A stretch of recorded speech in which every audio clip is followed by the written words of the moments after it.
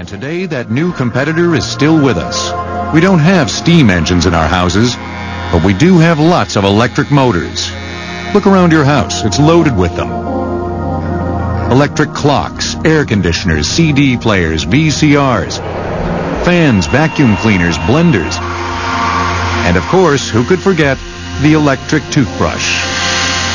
They are all powered by electric motors. Without it, we wouldn't even be able to sit here and make this interview. It wouldn't be worth getting out of bed unless you wanted to be back in the horse and buggy days. Unlike most engines, which use some kind of combustion to create heat, the electric motor is powered by an entirely different principle. It's based on the fact that when electricity flows through a wire, an electromagnetic field is created, which means you've temporarily turned that wire into a magnet. Turn the electricity off, it's not a magnet anymore. Hook it up the opposite way, and its north and south poles reverse.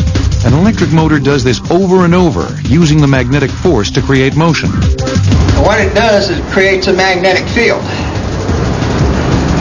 And it actually drives it, just like Doug and I are doing. As the power is going through this field, this is a magnetic field and it's revolving around here and it's sucking this around. Of course, electric motors need electricity, so their history begins with the earliest electrical experimenters. In 1824, Michael Faraday patented his direct current, or DC motor. In 1888, the eccentric genius Nikola Tesla patented his alternating current, or AC motor. Today we use both. If it runs on batteries, it's a DC motor. If it plugs into the wall, it's an AC motor.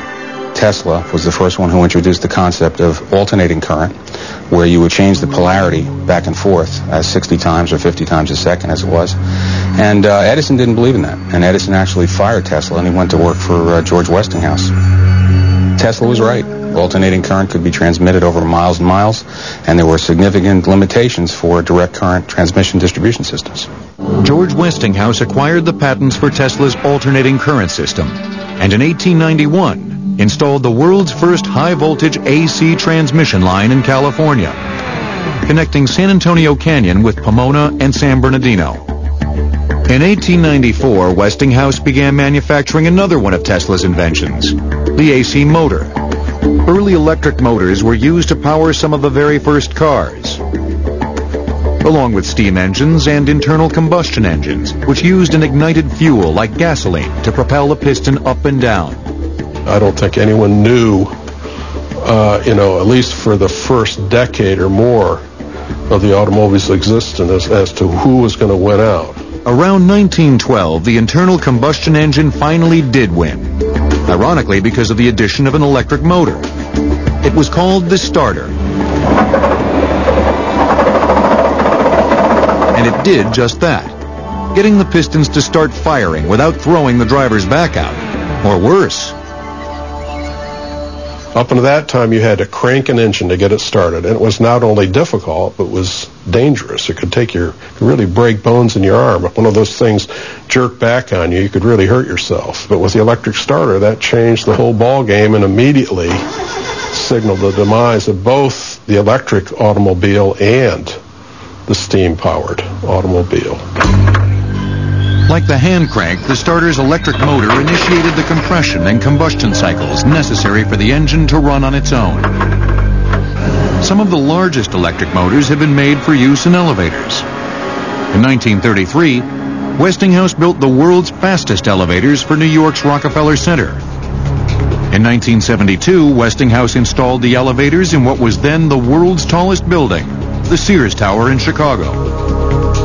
In the 1990s, the electric motor made an automotive comeback when General Motors introduced the EV1. It was extremely lightweight with a strong, rigid frame and one of the most aerodynamic car bodies ever made. Some said it was built more like an airplane than a car. The highly advanced EV1 was a flop, and GM canceled production in 2000. As with all electric cars, its biggest problem was limited range between battery charges. If you're in a hurry to go someplace and you can only get 100 miles, have to stop eight hours to charge, I mean, you might as well have a covered wagon.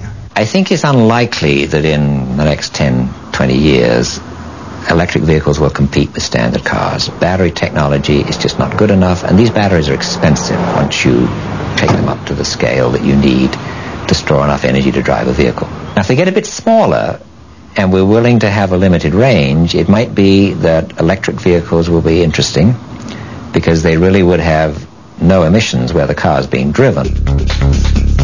Electric cars may not pollute when they're driven, but there's still pollution where the electricity is generated to charge their batteries, since most of it comes from power stations that burn fossil fuels.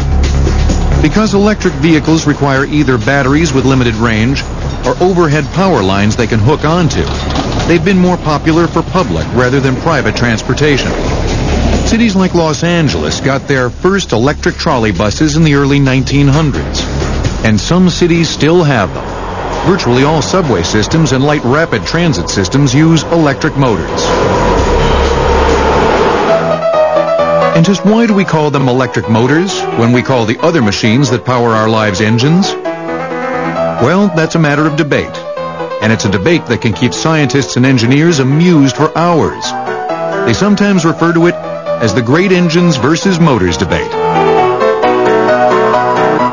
I don't think there's a clear answer. Technically, we use the word engine for a device that takes energy from some source, like fuel, and converts it into power that we can use to drive something. Engines versus motors. In my personal opinion, I think that an engine, when I think of engines, I think of heat engines. I'm a thermodynamicist, and we talk about heat engines. There are many inconsistencies even within the industry with regard to nomenclature. The things that I would not would call motors as opposed to engines would be primarily things like electric motors. And how do you explain outboard motors, which almost always have engines in them? Very good question. Uh, I never said we were consistent in how we use those words. In the automotive industry, a motor is an electrical machine, an engine is an internal combustion machine. Then how did Detroit get to be Motor City? Another very good question.